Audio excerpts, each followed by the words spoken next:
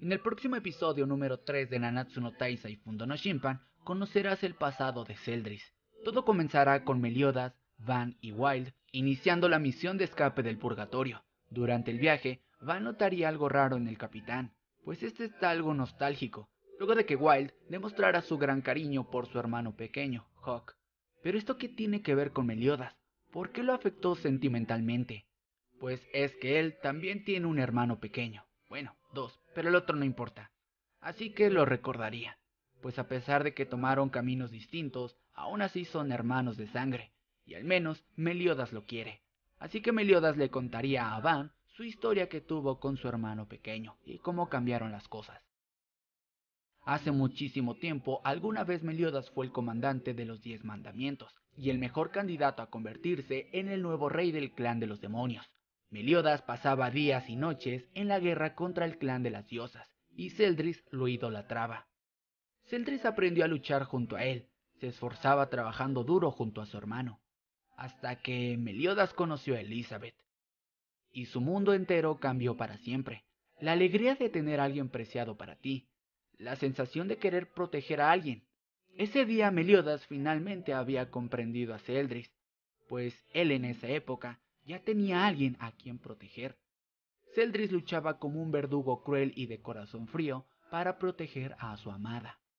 Mientras tanto, Meliodas quiso ponerle fin a la guerra junto a Elizabeth, sin saber que ese sería su más grande error que lo marcaría de por vida.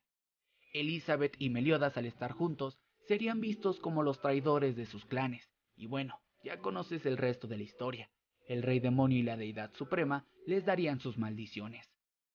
La noticia de que el comandante de los diez mandamientos había traicionado al clan de los demonios llegó a todo el mundo, motivó a otros clanes a rebelarse contra el clan de los demonios, pues creían que sin Meliodas podrían tener una oportunidad de vencer. Pero se equivocaron. Alguna vez existió el clan de los vampiros, quienes se rebelaron contra el rey demonio, pero fracasaron. La rebelión había fallado. Como castigo, el rey demonio enviaría a su verdugo a matar al clan de los vampiros, pero también a su amada, pues ella era de ese clan. Celdris con un dolor muy grande tuvo que cumplir con el deseo de su padre. Todo esto no hubiera pasado si Meliodas no hubiera traicionado al clan de los demonios. Por eso desde entonces, Celdris no perdonaría a Meliodas. Durante el opening de esta nueva temporada, podemos ver precisamente este momento que veremos en el próximo episodio, recordando esta triste historia, donde vemos a los amados juntos. De hecho, al final, en el segmento del título del próximo episodio, hay un detalle que me gustó mucho, pues pusieron en uno de los asientos hasta el frente a la amada de Celdritz, como podrás darte cuenta.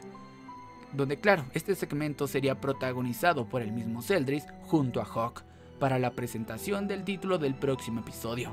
Dicho todo esto, Meliodas quiere volver a ver feliz a Celdris, además de que sabe algo que él no, pues este momento que vivimos en la tercera temporada de Kamigami no Gekirin lo dice todo. Pues aquel gran secreto entre los hermanos va a ser revelado. Meliodas puede recordar su pasado con Celdris, pero de esta rosa no recuerda nada. Lo mismo sucede con el rey demonio. Él tampoco recuerda nada sobre su hijo esta rosa algo anda muy mal. Coincidencia o no, hay algo detrás de esta rosa que no cuadra en la historia. Apareciendo de esta manera el rey demonio ante Meliodas, Van y Wild. Un confrontamiento importante estaba por suceder en el purgatorio. La llave de salida ahora está frente a ellos. El diálogo no es una opción. También el opening de esta temporada ya nos adelantaba este enfrentamiento que tendrán las emociones de Meliodas y Van Incluso hasta el mismo Wild aparece en un segmento del opening, de igual manera luchando contra el rey demonio y ayudando en esta batalla. Pero ¿cómo podrán ellos tres detener a uno de los dioses de Nanatsu no Taisai? Wild, si bien es una criatura de este mundo, pero no creo que pueda hacer mucho. Y las emociones de Meliodas no tiene su fuerza original, su fuerza está en su cuerpo. Todo esto recae en Van. Él será el único que podrá dar una pelea más digna al rey demonio así que nos demostrará la experiencia que ha ganado viviendo más de mil años en el purgatorio. Se va a revelar por fin el tan comentado momento en el que Meliodas convence a Celdris diciéndole un secreto que lo dejó sorprendido. En aquel momento, Meliodas le dijo a Celdris que Helda está con vida, es decir, su amada, Por esta razón Celdris dejó que Meliodas absorbiera los 10 mandamientos, ya que él sabe dónde está Helda, y así podrían encontrarse otra vez.